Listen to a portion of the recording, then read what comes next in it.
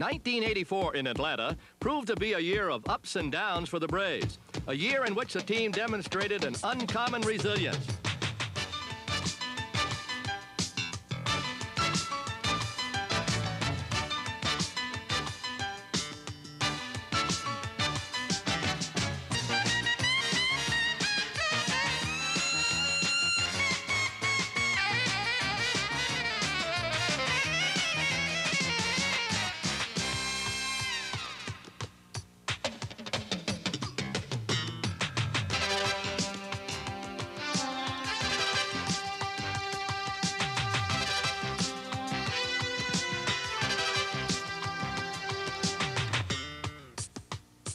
Ready to rebound. The story of the 1984 Atlanta Braves.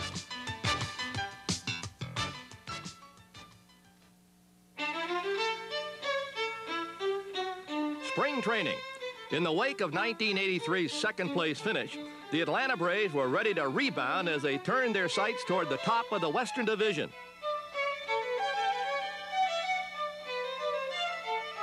As the Braves opened their training camp in West Palm Beach, Florida, they did so with a collection of familiar names that had turned the team into a Western Division power. Now, in 1984, those familiar players would be instrumental in Atlanta's efforts to recapture the flag.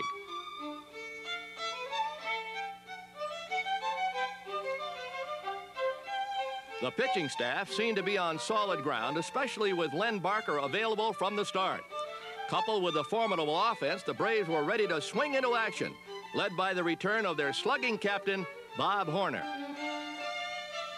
But while the Braves were looking ahead to the pennant chase, something was already chasing them. Injuries.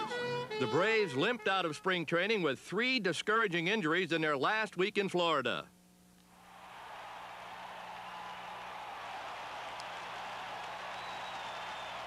But they were ready to rebound as the team headed north for the start of the season, hoping to duplicate their record-setting start of recent years. The attention of the city turned towards Atlanta Fulton County Stadium, where anticipation was high. A crowd of 34,000 turned out on a threatening night to get their first look at the 1984 model of America's team, whose chief concern was getting off to their third consecutive hot start. But there wasn't anything hot about the Braves start this year, as they lost eight of their first 11 games. The blue skies of Florida had turned into the rainy nights of Georgia. Well, it's cloudy in the morning. Gonna be raining in the afternoon. Cloudy in the morning. And it's gonna be raining in the afternoon. If you don't like this rainy weather, you better pack your bags and move.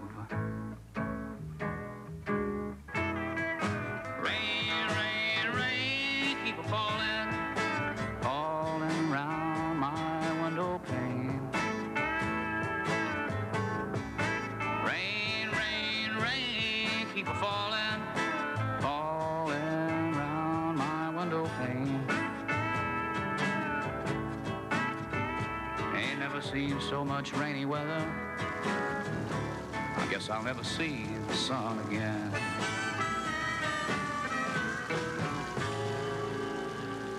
There was, however, one bright spot in the cruel month of April. One player who continually picked the Braves up when they were down. Claudell Washington. By the end of the month, Washington was among the league leaders in seven offensive categories. And it was his play that turned the Braves on early in the year.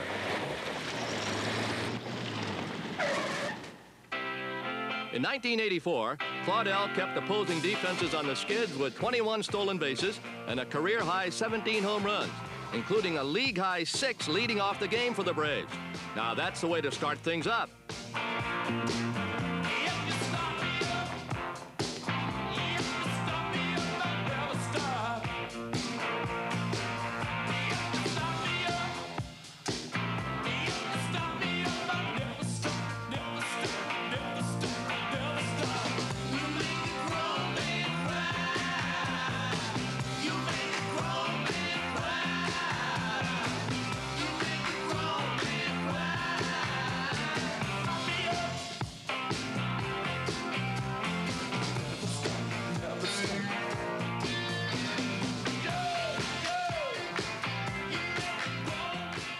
While Washington jump-started his stall ball club, the Braves front office continued its search for the right spark to ignite the team.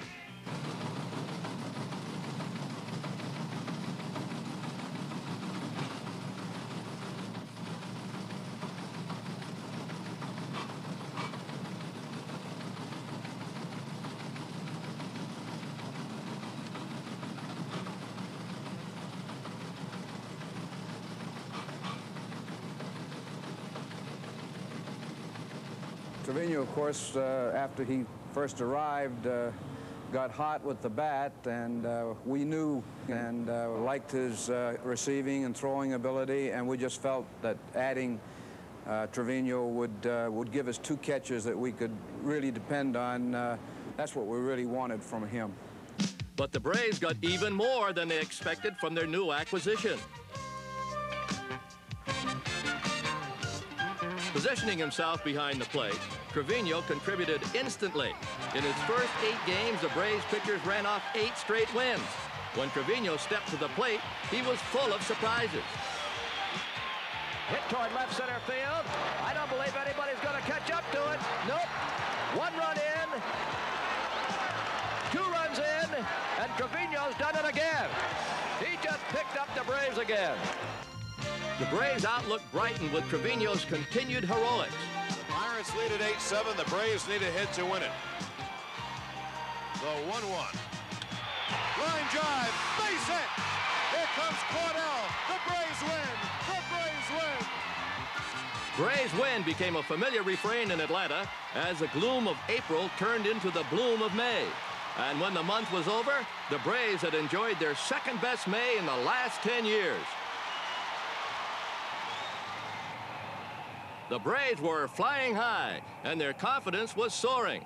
They had lifted themselves up into the race, and the fans responded to the rebounding Braves by flocking to Atlanta's Fulton County Stadium. Tickets to a game were as hot as the Braves themselves. Each day on the field, it seemed a different player rose up to light the fire.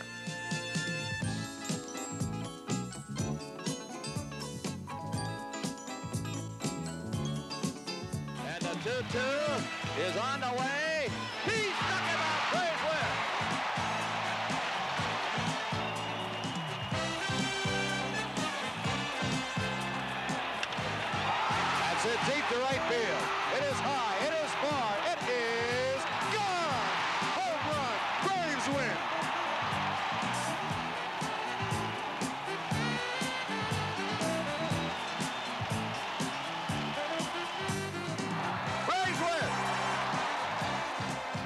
Pascual Perez was one reason the Braves were able to rebound from their poor start.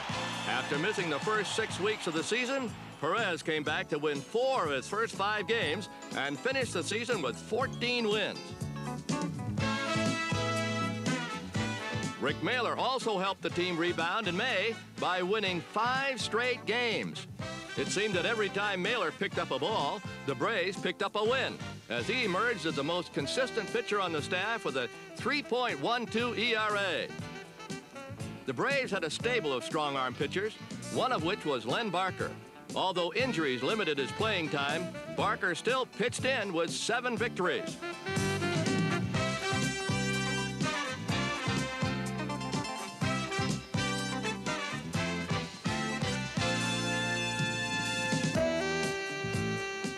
The Braves also found a workhorse in Rick Camp, who worked as both a starter and reliever in 1984 and won eight games with a 3.27 ERA.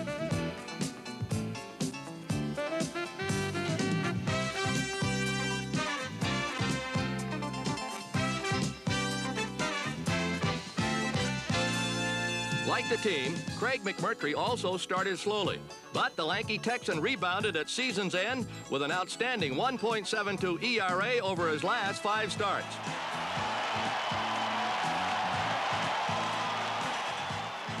By the end of May, the Braves had charged into a first-place tie with the San Diego Padres. But bright hopes were darkened by the sound of the siren as injuries once again put holes in Atlanta's lineup. The biggest hole was left by the loss of Bob Horner for the season. But rather than pack it in, the Braves packed their bags and hit the road. First stop, Riverfront Stadium in Cincinnati, where the Braves were ready to rebound yet again.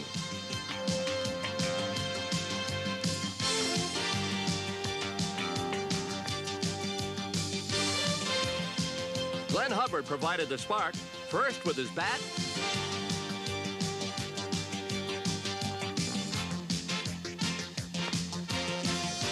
and then with his glove, as his gritty determination inspired the whole team.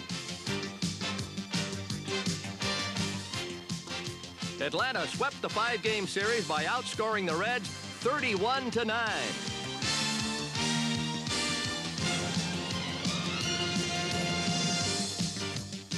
The Braves had sailed into first place, and as they cruised out to San Francisco, they had a golden opportunity to expand their lead as the hottest team in the West.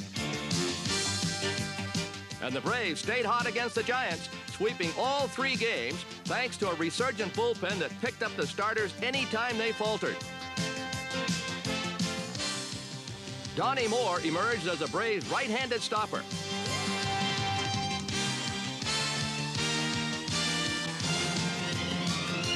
In 1984, Moore led the Braves with 16 saves, four more than his career total prior to the beginning of the year.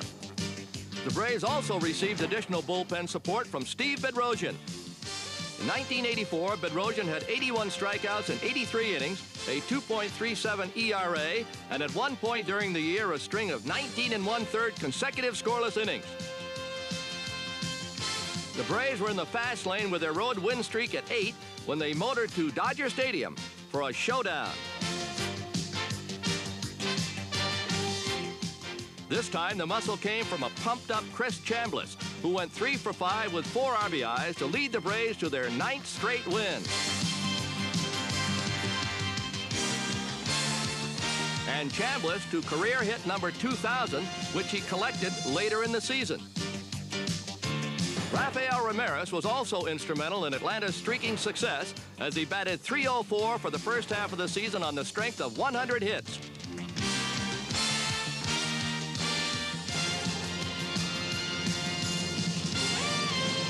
His remarkable first half earned him a trip to the All-Star game in San Francisco.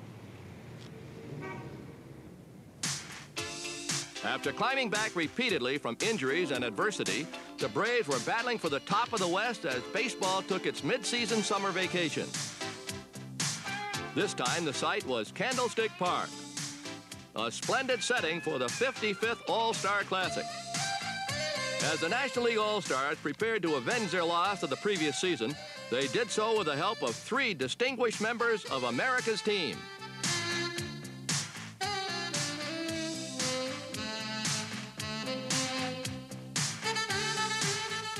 Claudell Washington was making his second All-Star appearance, while Rafael Ramirez made his first.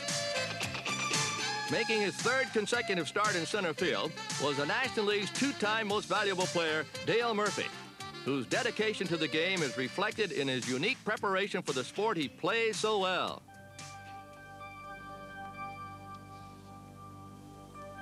You go up there thinking positively and what you're supposed to do and think about being aggressive. I strike out a lot. Uh, I don't like to strike out any more than anyone else. You got to create that confidence within yourself. And the only way you get your confidence is by trying things. So I like to dive once in a while, and, and I found that if you dive once in a while, you catch it. I feel extra special if I get a chance to do something in the outfield to help the team.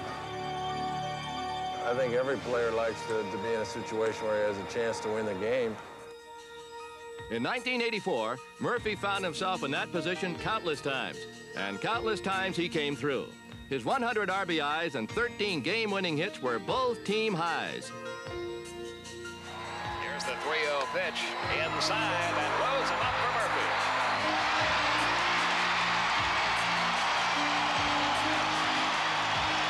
The bases are loaded. There's one man out. We're in the bottom half of the ninth inning of a 2-2 game.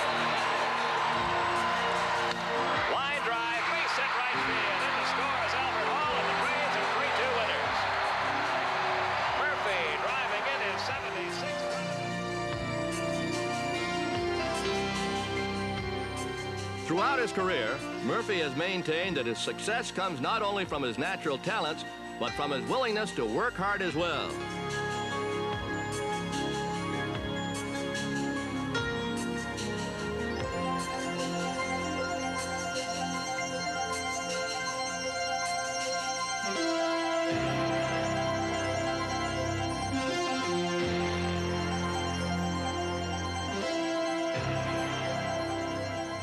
When you're in a situation where you have the opportunity to win the game with uh, one swing of the bat, you know, your concentration can just, uh, even with the crowd yelling and all the things that are going on, um, with experience, you can learn to get that out of your mind and just focus on the ball coming in and then making contact.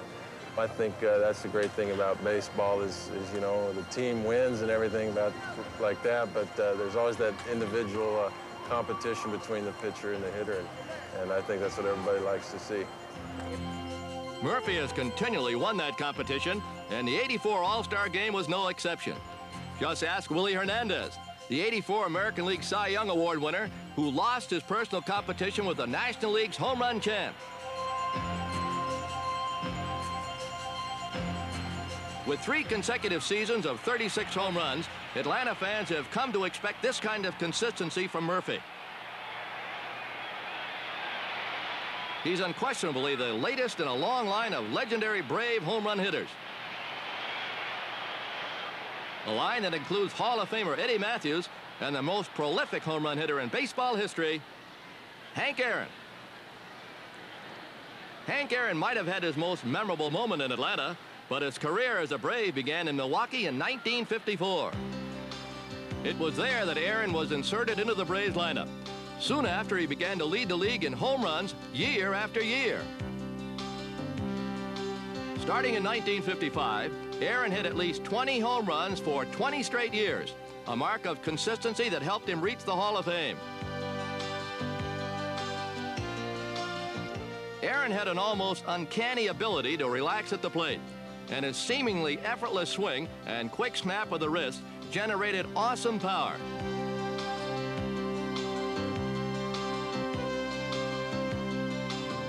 Although the Braves changed cities in 1966, the move from Milwaukee to Atlanta did nothing to change Hammerin' Hank's sweet swing.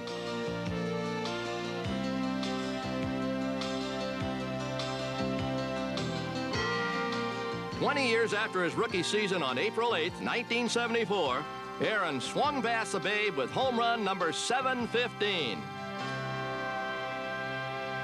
A moment frozen forever in Atlanta Braves history. Exactly 10 years later to the day, the Braves remembered that momentous occasion with a reenactment of that record-breaking home run. Atlanta fans came to salute Aaron, and Aaron saluted them right back.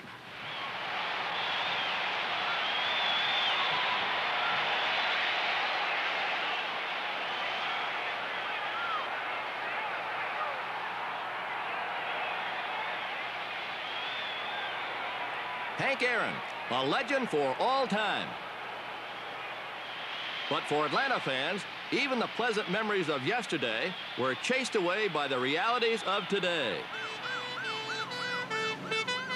Throughout the summer, Braves woes mounted steadily as new names found their way onto an already lengthening injury list. But once again, the Braves were ready to rebound, this time led by a pair of 23-year-olds, Brad Komminsk and Gerald Perry, who seem to be playing their own game of one-upsmanship.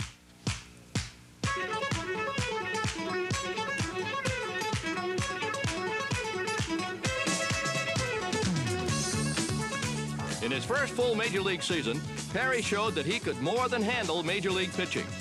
And his performance on September 10th was an indication of that. On that day, Perry had three hits and five RBIs, including a double and a home run. Perry's contributions continued in the field as well, where he showed sure-handed finesse at first base.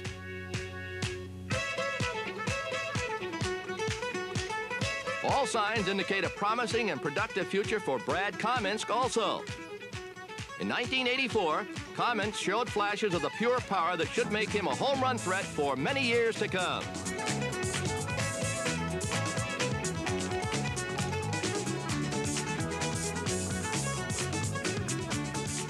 Like Perry, Komminsk also provided power and speed as he stole 18 bases in 25 attempts.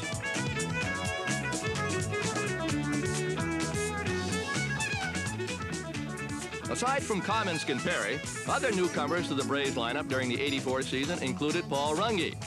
Called up from Richmond, he impressed Braves fans by playing several infield positions while swinging with consistency at the plate.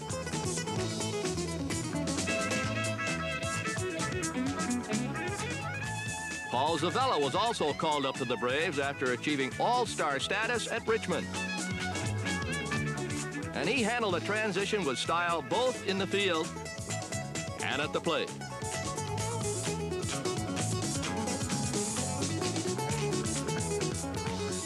Young Braves on the mound included Jeff Dedmon, who appeared in 54 games during the 84 season, second most on the team.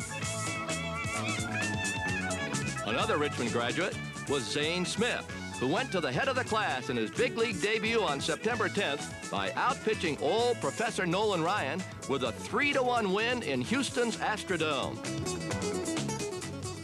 Finally, there was Richmond standout Milt Thompson, one of the Braves' brightest young stars. In just 25 Major League games, Thompson had 30 hits for a 303 average and electrified Atlanta fans with his spectacular defense. Thompson also scored 16 runs and showed his speed by stealing 14 bases.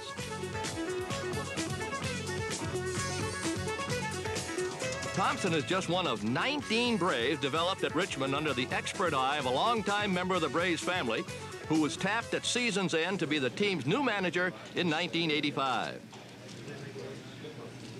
Thank you very much for uh, coming today. I will uh, announce that uh, Eddie Haas is the new manager of the Atlanta Braves.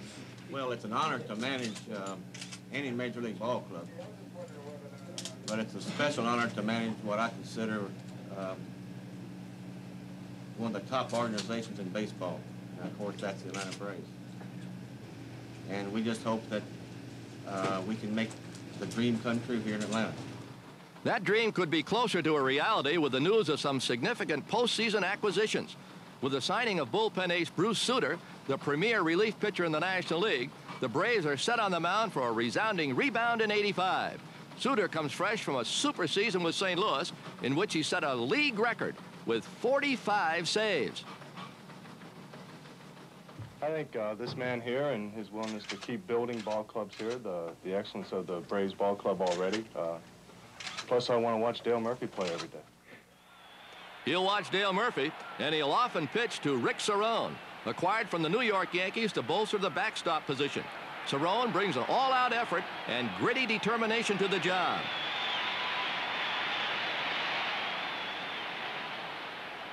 As the Braves enter their 20th season in Atlanta, fans can expect a rebounding effort in 1985. With a host of bright young stars, strong acquisitions, and a new manager, the Braves are ready to rebound and continue the tradition that's grown through the years. I swear we've been through everything there is. Can't imagine anything we've missed. Can't imagine anything the two of us can't do through the years, through all the good